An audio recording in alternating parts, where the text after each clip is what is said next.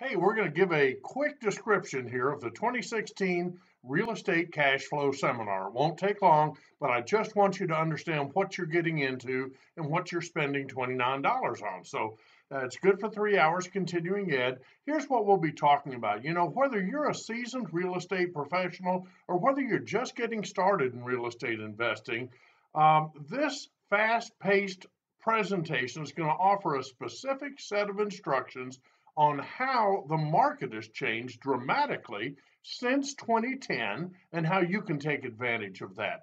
Whether you are a licensed real estate uh, agent or broker or whether you're not, it doesn't matter because the market has changed and I want to share some ideas with you. In the first hour, we're going to be talking about why real estate and why now? You know, for the last seven or eight years, we've had so many ups and downs in real estate that a lot of people are unhappy with it. We're going to talk about little houses and why I still like little houses, why I think such there's, there's such a great opportunity there. And then we'll talk about entrance, growth, and exit strategies, and all of those are important. In the second hour, we're going to talk about a specific 10 year plan of wealth creation.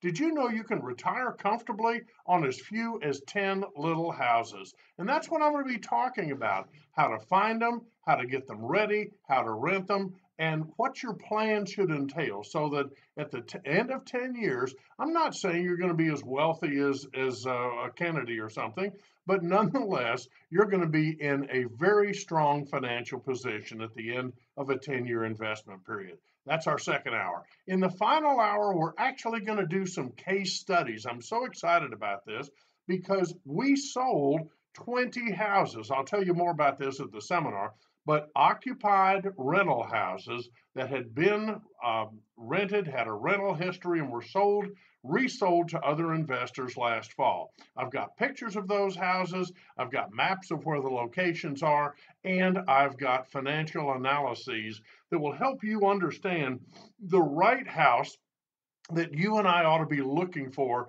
to build our portfolio of 10 or more little rental houses. Hey, the name of the seminar is the Real Estate Cash Flow 2016 seminar. I'm John Adams. I hope to see you there.